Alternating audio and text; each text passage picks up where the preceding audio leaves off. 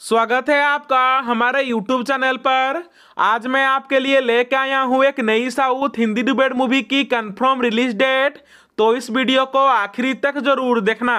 2010 में रिलीज़ हुई drama movie Sneha GITAM.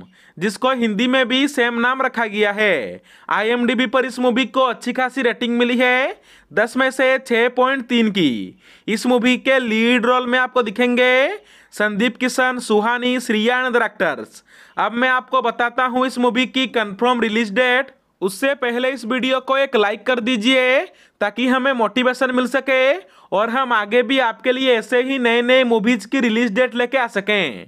Friends ये मूवी 15 फरवरी को रात को एक बजकर बयालीस मिनट पर प्रीमियर होने वाली है सोनी मैक्स के टीवी चैनल पर। इस मूवी की हिंदी डबिंग राइट से गोल्ड माइन्स टेलीफिल्म के पास। तो ये मूवी आपको कुछ दिनों के बाद गोल्ड माइन्स टेलीफिल्म के यूट्यूब चैनल पर भी देखने को मिल जाएगी।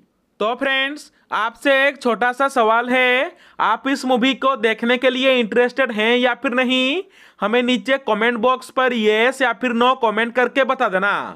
बस आज के लिए इतना ही। अगर आप हमारे चैनल को बिना सब्सक्राइब किए इस वीडियो को देख रहे हैं तो हमारे चैनल को सब्सक्राइब कर दीजिए और बेल आइकन पर क्लिक करके ऑल को सिलेक्ट भी कर देना।